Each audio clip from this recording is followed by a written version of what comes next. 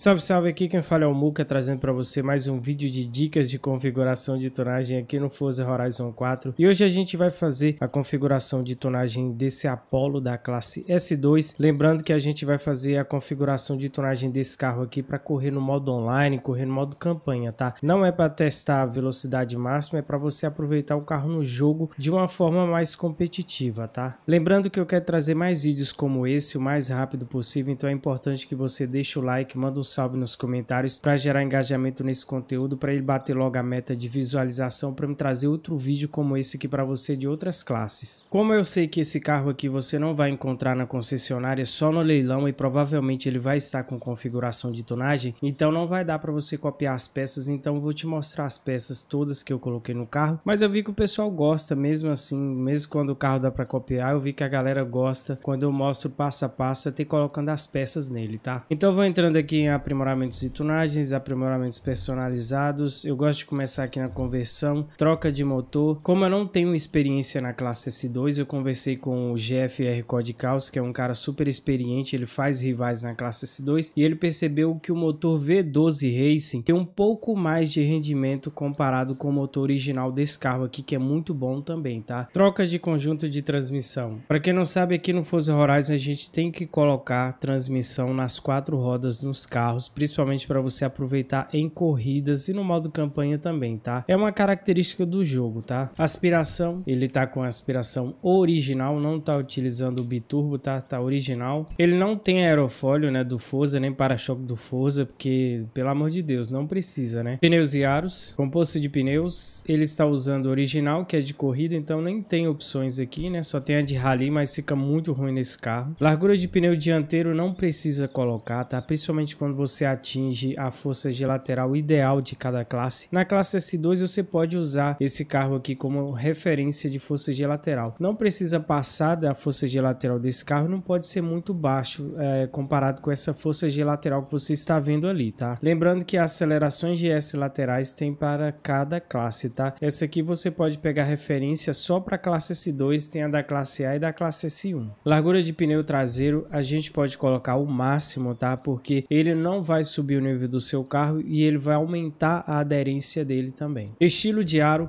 eu coloquei um estilo de aro o mais pesado que tem aqui, tá? Você pode pegar outras opções desde que ele esteja com o mesmo peso desse aro aqui, tá? Eu coloquei esse aro aqui porque senão ele ia para a classe X. Eu quero aproveitar esse carro para correr no modo online e não tem a classe X do modo online, então a gente teve que reduzir é, o nível dele aumentando o peso do carro. Tamanho do aro dianteiro eu deixei original, né? Isso aqui a gente aumenta só para ele ganhar um pouco mais de peso também, mas aqui não tem necessidade. Conjunto de transmissão, embreagem original, transmissão de corrida, tá? Linha de transmissão, original. Diferencial, a gente vai colocar de corrida. Plataforma e controle, ele não vem com freio de corrida do Forza, porque o original dele já é de corrida, tá? Molas e amortecimentos originais também, que é de corrida, o dele. Reforço no chassi, original. Redução de peso, redução de peso de corrida, tá? Isso aqui ajuda muito na manobra do carro, força de lateral, fica muito, muito bom. Motor,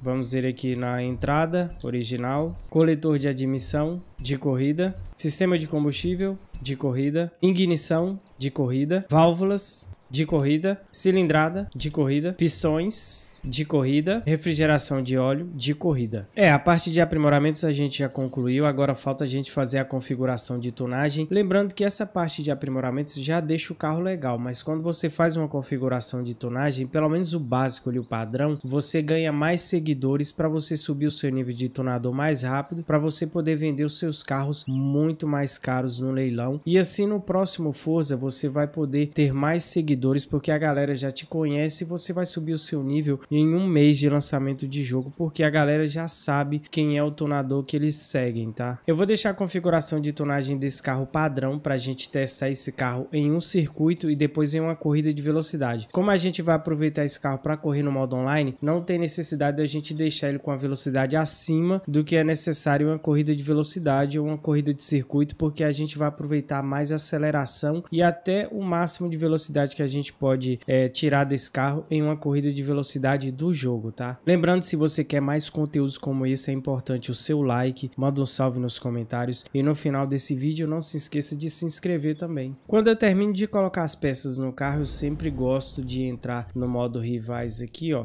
para mim fazer é, um teste de temperatura de pneu para ver se a cambagem desse carro tá certinha. Vou te mostrar mais ou menos como eu faço. Eu gosto de testar nessa pista aqui, tá? Classe S2, obviamente. Vamos pegar o nosso carro. Antes da gente testar o carro, a gente vai fazer uma pré-configuração de tunagem para a gente ver a reação do carro, se a gente tem que fazer alguma alteração, tá? Lembrando que eu estou utilizando o câmbio manual porque eu estou na classe S2 e não preciso de embreagem, tá? Eu vou entrar aqui nas configurações de tunagem e vou fazer uma configuração padrão que a gente faz nos carros da classe S1, S2, classe A, tá? Aqui eu coloco no máximo de 1.0 até 1.1 1, tá? Eu vou colocar 1.1 na frente, colocar 1.1 atrás também, tá? Aqui nas escalas de marcha é bom a gente andar com o carro primeiro para a gente ver se tem necessidade de aumentar a aceleração, tá? Aumentar a velocidade, beleza? Aqui na parte de alinhamento eu gosto de mexer aqui depois que eu dou algumas voltas na pista para me ver a temperatura dos pneus, para me ver se tem necessidade de aumentar ou abaixar a cambagem negativa do carro, tá? Convergência e divergência eu deixo padrão, tá? Do jeito que está aqui. O ângulo do caster a gente deixa de 6 até 7, tá? Dependendo do carro. Eu gosto de deixar na casa dos 7, 6,5, porque isso me dá uma sensação de mais estabilidade andando com o carro na reta ou entrada de curva, tá? Barra estabilizadora, eu vou dar uma dica extra aí pro pessoal da classe A, classe S1. Se o carro tiver saindo muito de traseira, tá? O carro tá saindo muito, é o Nissan GTR, lá o 97 que sai bastante. Eu recomendo você colocar aqui 15, 20 na dianteira, 25 e coloca um na traseira, tá? Isso ajuda bastante. Mas se o carro tem muita aderência, é um carro bom, não tá saindo de traseira, pode deixar aqui nenhum. Aqui você pode ir aumentando, ó. Por exemplo, você colocou aqui 25, tá legal, o carro tá de boa. Você começou a aumentar, o carro começou a sair de traseira, é bom você deixar na casa dos 25, 30. Como esse carro é um carro super, um carro que tem muita aderência, eu coloco logo aqui 65 tá? Fica bom demais. Então essa configuração aqui vai depender muito da reação do seu carro na pista, tá? Aqui nas molas a gente tá fazendo um padrão que a gente sempre fez desde o começo do jogo, de 60 a 80. Eu vou deixar 70 aqui, tá? É, na frente e atrás. Se eu perceber que o carro tá muito rígido nas curvas, eu posso diminuir para 60 aqui, tá? Mas eu vou deixar essa configuração aqui para ficar entre 60 e 80. A altura mínima do carro é 8, tá? Eu posso até reduzir aqui, mas eu vou deixar esse padrão que tá aqui mesmo. Amortecimento também eu vou deixar no padrão que a gente gosta, que é uma sugestão do Código Causa é deixar na casa dos 8.5. Como ele é um cara que corre na classe S2, eu vou deixar na casa de 8.5, tá? Apesar que essa configuração de 8.5 eu uso na classe S1 também. Aqui eu tava usando na casa de 5,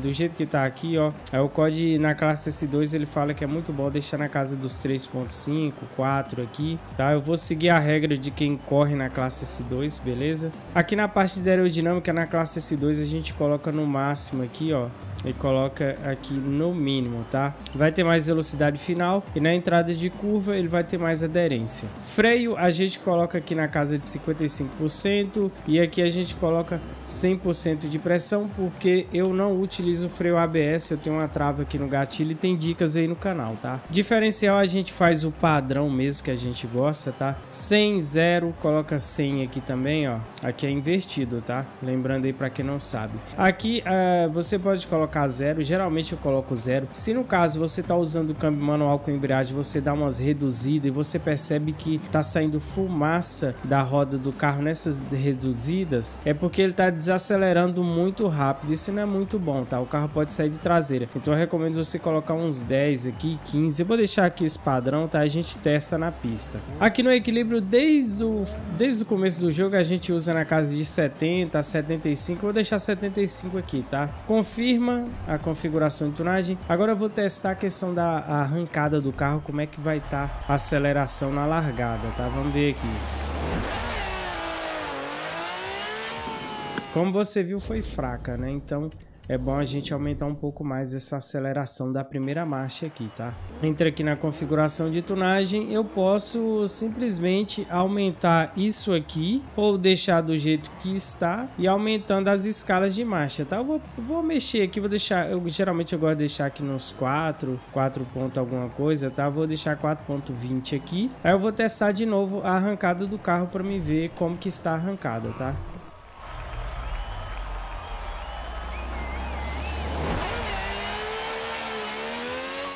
Tá legal. Tá interessante. Só vou aumentar só mais um pouco aqui, tá? Pra me sentir um pouco mais de força. Agora eu vou aumentar a aceleração mexendo nas próprias escalas de marcha aqui, tá? Esse carro eu percebi que é um carro mais de aceleração, tá? Não é um carro que tem muita velocidade. Geralmente os carros que tem muita aderência não são carros de, de alta, de muita velocidade, vamos dizer assim, né? Uns que pega 450. Esse aqui, eu acho, acredito que esse carro aqui não é do tipo de carro que chega nos 450. É um carro carro mais de 360, 370, estourando isso aí. Eu optei por aumentar agora a aceleração da primeira marcha, né? Depois que eu aumentei essa aqui. E vou fazer um teste aqui para ver a reação do carro na largada, tá? Vamos lá, deixa eu ver se vai cortar giro. Tomara que não. Cortou um giro ali, tá vendo? Ele deu uma cortadinha, depois voltou. Então é bom diminuir a aceleração da primeira marcha, tá? Vou diminuir aqui um pouco, ó. Vou deixar aqui na casa de 25, eu já posso aumentar aqui a aceleração dessa marcha. Aumenta aqui a, a terceira, né? Aumenta aqui a quarta. Aumenta a quinta. Aumenta um pouco a sexta aqui, ó. Vamos ver como que vai ficar aqui, olhando ali no velocidade máxima. 343. Eu acho que esse carro aqui, a gente vai testar ainda a velocidade máxima dele para a gente ver se tem necessidade de mudar isso aqui, tá? Vamos lá, deixa eu testar aqui. Tomara que a aceleração esteja boa, que o giro não corte. Bom, bom, legal.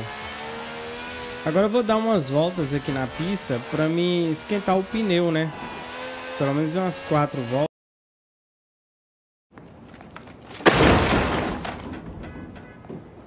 Já estou aqui na, na quarta volta, tá? Dei só quatro voltas. Vou ligar a telemetria aqui para ver como é que tá o comportamento. Como você está vendo ali, o lado interno da, da roda dianteira, ela tá mais quente. Ou seja, ele tá com muita cambagem negativa. Tá vendo? Tá com muita cambagem negativa. A diferença tá muito alta. Ou seja, a gente vai ter que diminuir a cambagem dianteira. Tá vendo que tá aceso ali, tá mais quente o dianteiro, a parte interna. Então é, a gente vai ter que diminuir essa cambagem aí.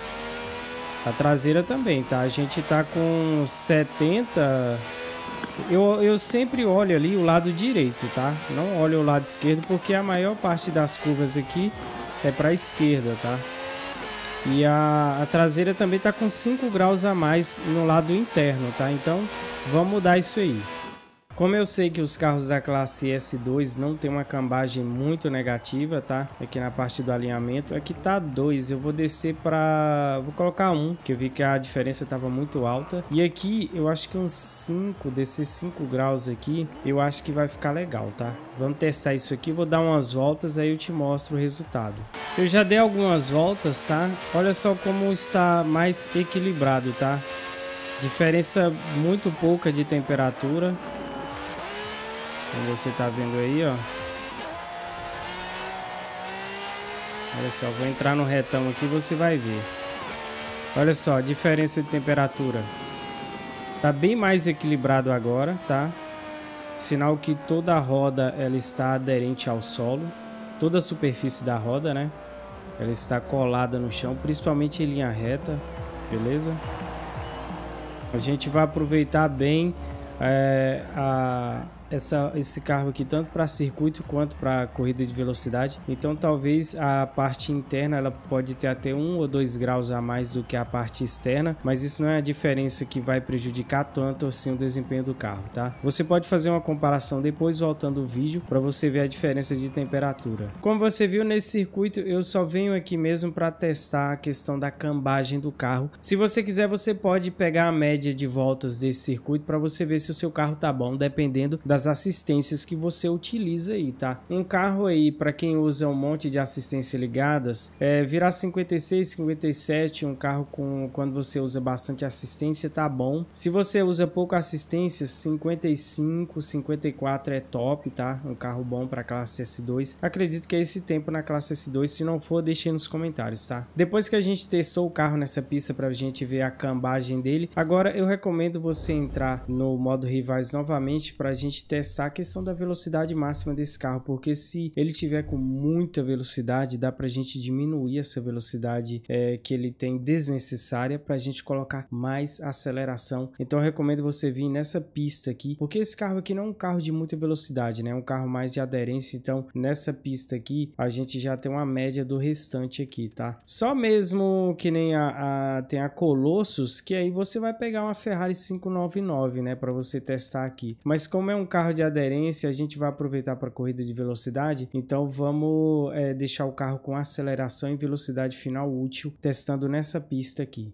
Lembrando, se você é novo no canal, se inscreva para você não perder as outras dicas, tá? Beleza, o nosso carro se comportou muito bem no circuito, não saiu de traseira, tem aderência no circuito, é muito bom. Agora eu vou ver quanto de velocidade máxima ele tem nessa pista para a gente fazer uma, uma, limpeza, vamos dizer assim, na questão da velocidade dele, porque é, a gente tem que ter estratégia na questão de configuração de escalas de marcha que te dá muita vantagem. Por exemplo, se o carro ele tem é, nessa pista aqui, a velocidade máxima desse carro é 340, vamos jogar aí, é, e ele tem um, e lá na telemetria mostra que ele pode chegar até 370, a gente pode é, fazer um ajuste na escala de marcha. Lembrando que eu não estou fazendo volta rápida aqui, tá? Eu só tô, eu quero chegar lá no finalzinho para a gente testar a velocidade máxima dele. Beleza, vamos ver aqui, chegar na reta. Tá bem ali o retão. Eu gosto de testar nessa pista aqui porque é, é, a pista que tem a maior reta aí no modo online. Quando você entra na classe C2, você sempre pega esse retão aqui, tá? Vamos lá. Deixa o carro andar agora. Pelo que eu tô vendo aqui, dá pra aumentar a aceleração, tá vendo? Ó. Não é um carro de muita final, né? Ó. Não é um carro de muita final. 331. Como você viu, é um carro mais para circuito mesmo. Corrida de velocidade ele ganha sim, ele tem condições de ganhar. Não tem mais velocidade que o CCGT. Ele chegou a ter 331. Então recomendo a gente aumentar um pouco mais a aceleração da sexta marcha, tá? Vamos ver aqui até onde vai. Ó, tá vendo? Dá para descobrir algumas coisinhas aqui, hein? Talvez a gente vai ganhar muito mais que 331 aumentando isso aqui, tá vendo? Isso aqui no circuito eu não eu não acho, tá? É uma uma Eu vou aumentar a quinta aqui, tá? Para me aumentar um pouco mais a sexta. Isso aqui eu não acho no circuito. Tem que testar numa corrida de velocidade, tá? Ó, vou deixar 350 aqui. Vai que ele chega nisso aí depois que a gente aumentar a aceleração. Porque a gente aumentando a aceleração, a gente dá mais impulso pro carro, tá? Vou mexer aqui, mexer nessa outra aqui. Eu já vou aumentando aqui, ó, a, a terceira. Aumentar a quarta aqui, ó. Aumenta aqui a, a, quinta. Eu vi que a primeira marcha ele deu uma cortadinha ali. Vou colocar 1.15 aqui. Posso aumentar mais a segunda. Aumenta aqui, ó. Terceira, quarta. O carro tá bem, tá com aceleração e ele tá com velocidade final ainda. 335. Eu vou aumentar mais é, para uns 340. Será que vai? 344. Vamos testar essa velocidade aqui desse carro, tá? Deixa eu ver a arrancada dele como é que tá. Eu vou te jogar lá na frente na velocidade máxima máximo. Ó, não cortou giro, tá bom. Lembrando que se você só quer compartilhar a tonagem, é, não precisa ser tão, é, como é que eu posso dizer, perfeccionista, tá? Porque muitos jogadores baixam a tonagem para fazer o modo campanha, né? Essa tonagem que eu tô fazendo aqui é mais para você aproveitar no modo rivais ou no modo online, né? Porque o rivais tem um CCGT. Olha só. O bicho tá pedindo mais. Pera aí que eu errei ali. Eu acho que ele tá pedindo mais, hein? Eu encostei na pedrinha ali. Ó. Tá vendo? Era 330, agora ele tá 340. Muito bom. Muito bom. Deixa eu ver aqui, tá 340 e quanto ele? 344. Eu acho que tá bom, né? Será que eu posso até dar um toquezinho aqui, jogar, é, descer um pouquinho mais para ver Deixa eu dar uma olhada agora. 347, beleza. Vai que a gente entra numa Colossus aí e tal. E sem querer, né? A gente precisa de um pouco mais de velocidade. Esse carro aqui, ele pode até não ter muita velocidade final. Mas esse carro aqui dá para você aproveitar a agilidade dele nas corridas de chuva, corrida de circuito, corridas onde tem bastante curvas. Esse carro aqui é campeão. Agora que eu fiz a configuração, é só eu clicar aqui em aplicar e salvar as configurações, tá? Quando eu clico em salvar aqui, ela já vai compartilhar automaticamente para você. Eu recomendo você colocar um nome aqui, grip, que é aderência, circuito, e clicar aqui em salvar e você vai compartilhar a configuração. Eu achei bem interessante essa configuração, tá? Então é isso, eu quero seu feedback em relação a esse vídeo para ver se eu posso trazer mais conteúdos como esse para você, tá? Deixa o like, manda um salve nos comentários. Se não é inscrito, se inscreva e até a próxima dica.